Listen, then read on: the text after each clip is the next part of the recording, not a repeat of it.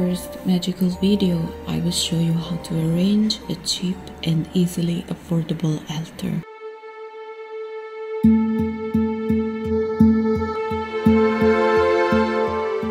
So let's begin with these two things that I actually bought as new on Amazon. The rest of the stuff that you will see are things that I already had into my house or at least gifts.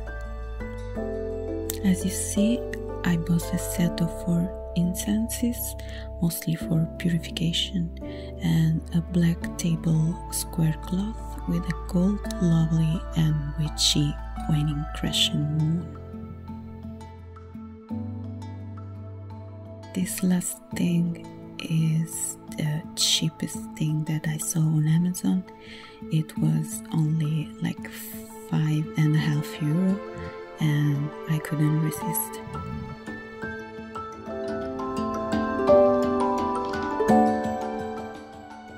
If you're interested, I will list those things in the description box. I spent almost two days checking out all the incenses on Amazon, and these ones are the most credited ones and I'm really not at all disappointed. Um, mostly, I'm in love with the white sage one, and I can't wait to buy a new pair, maybe try new sentences.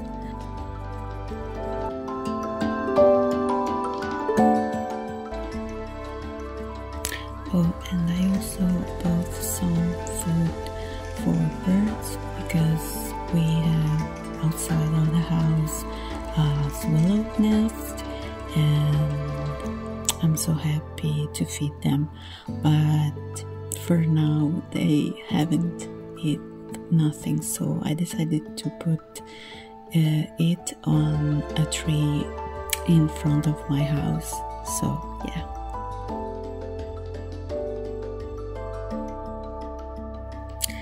now let's get dirty. I'm so sorry uh, that I haven't um, filmed a video on how I made this these two little statues of the goddess and the god. Um, but I maybe will do one um, in the next future, uh, or I think that you will find a lot of it. Uh, on YouTube here. So as you can see, I've started uh, to paint um, firstly the goddess and the goddess symbol and then the horns uh, for the god and I chose uh, to paint them one with gold and one with uh, silver paint. And I had that paint since high school, so I'm lucky that they were still uh, like usable. um, and also all the paint that I will use it's from high school. But I think you can buy a really really affordable and cheap set of acrylic paint anywhere. Oh, I forgot to mention that uh, the main material uh, for the statue is, uh, and it's a polymer clay that dry uh, to the air.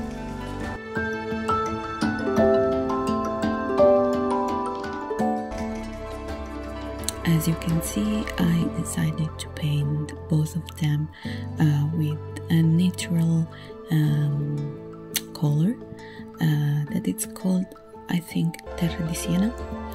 Um, brown, brownish. While I was painting the second one, uh, so the god, uh, the goddess was fully dry. Uh, also because uh, acrylic paint dry really fast and it's really easy to use and it's easy to wash out from hands uh, not so much uh, from clothes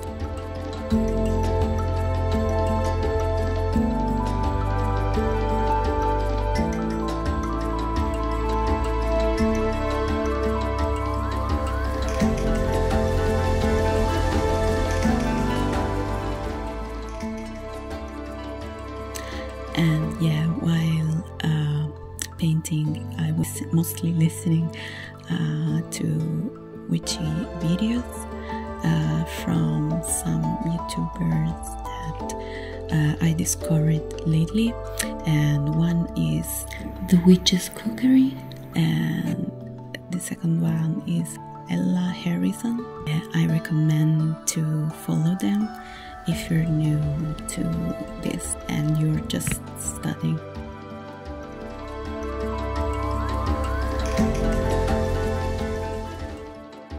After I uh, decided to put a little bit more of silver paint because I just messed it up a little.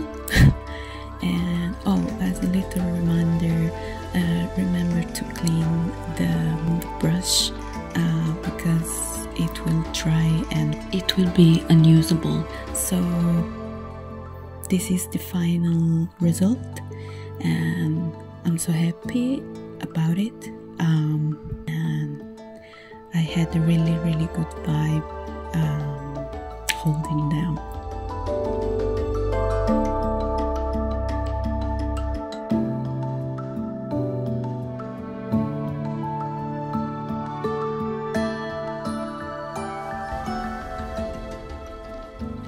So I had uh, a little bit of extra dough uh, that I decided to use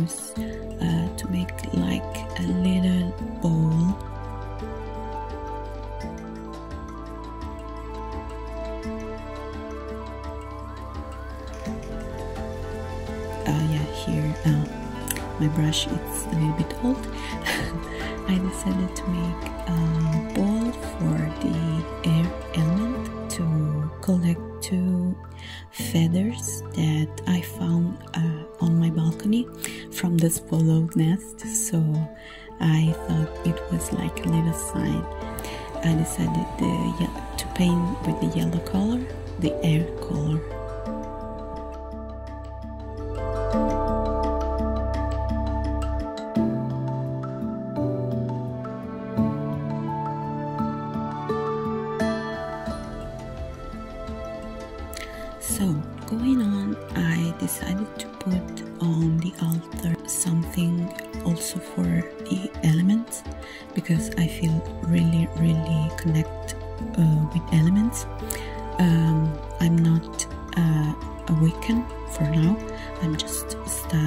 And learning as much as I can, but I feel really connected to uh, the Mother Earth the elements and the god as the god of fauna. So here i am making um, a little bit of painting and a little bit of messing up um, for the water element so this is a little um, bowl uh, of glass and it was from um, baby food so I decided to wash it and keep it.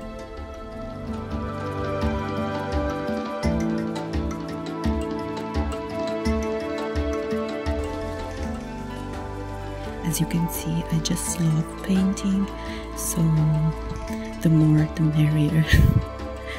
um, next one, I decided to give a goldish um, sense to the previous bowl for the air element.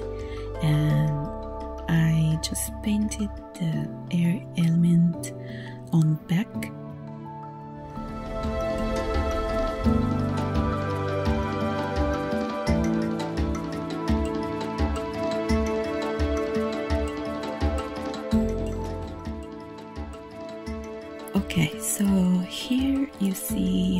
this is a glass candle thingy. It's um, sold by IKEA, and on the top there there was a candle, and I decided to keep it. I cleaned it, but as you can see, some of the candle residue are still on it, but I don't mind. Uh, it's like uh, vintage so I decided to design this plate uh, for the earth element and I paint, painted the earth element on the back uh, with obviously green. Yeah, that's uh, cotton bud, um, but it's uh, bamboo. So yeah. Since I decided to uh, use as an earth symbol my uh, sunstone, I decided to put something on the plate. That is a green sachet from a thing that I bought, and that was the sunstone. The last but not least, uh, fire element, and I decided to use this uh, little uh, that was gave to me uh, from one of my dearest friend and inside of it uh, that was a lovely bracelet and I will put that also on my altar so you will see it.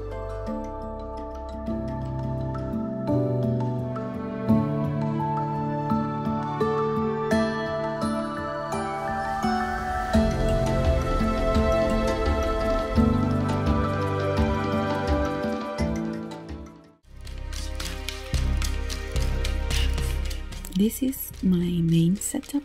I'm cleaning it right now and it's near my bed. I have a really really small room. I read somewhere that you must have the altar uh, outside of the bedroom but i feel just protected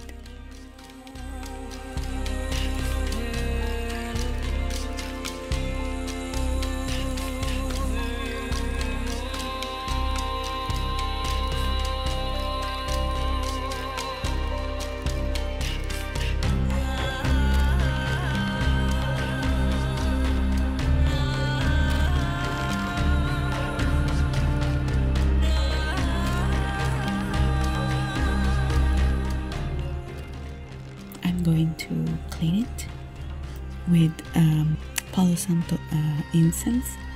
And while uh, doing it I will just visualize um, something really really peaceful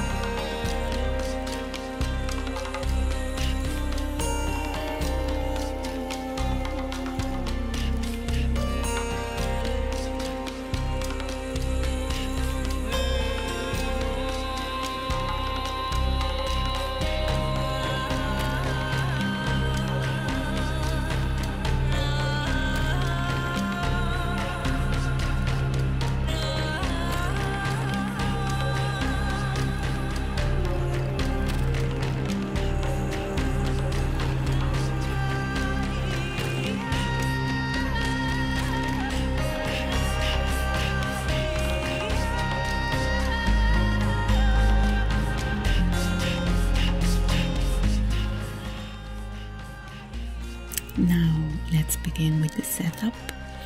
So, firstly, I wanted to place uh, my tablecloth that I think it's perfect.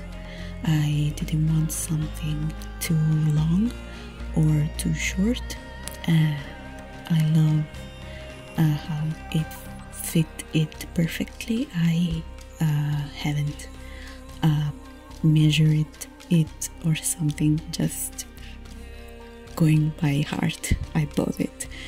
So here i am just uh, like blessing the cloth. Have i already said that i love those incenses. Uh, palo santo it's great really. Uh, but white sage it's like oh my god going on.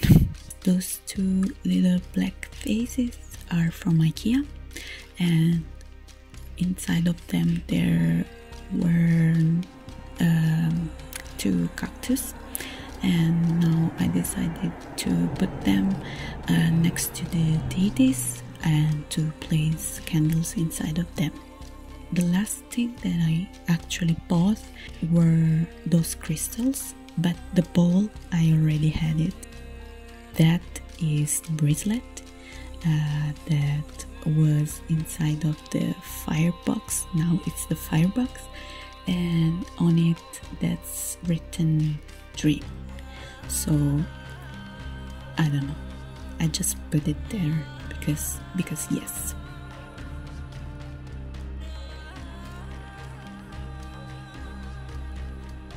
Here it is the final setup and I'm just really really happy of how it turned out.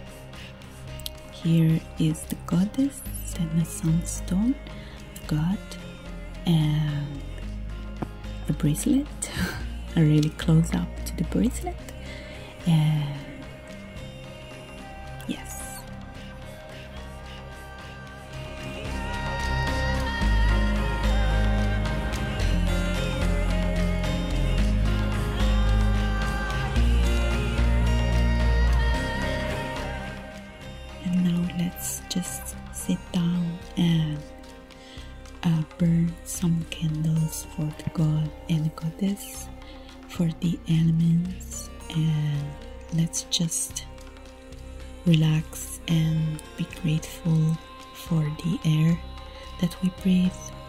uh, for the earth that we walk on, for the weather that we drink, and for the fire that keeps us warm.